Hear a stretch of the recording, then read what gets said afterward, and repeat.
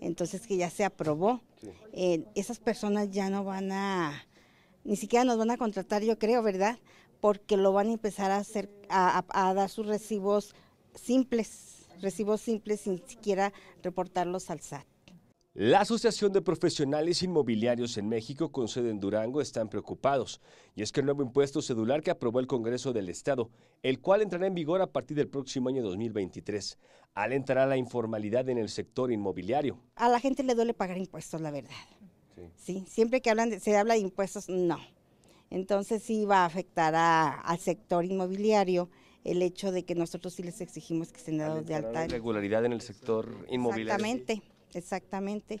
El impuesto en mención habría de aplicarse a partir de las rentas de 15 mil pesos, ante lo cual María Teresa Flores Jaques, presidenta del sector en Durango, considera que esto pudiera conllevar a que cada vez menos personas busquen fiscalizar las rentas y se realicen contratos que no generen carga tributaria no va a haber personas que a lo mejor lo renten por su cuenta, hable con la persona que va a ser la arrendataria, le comente, ¿sabes qué?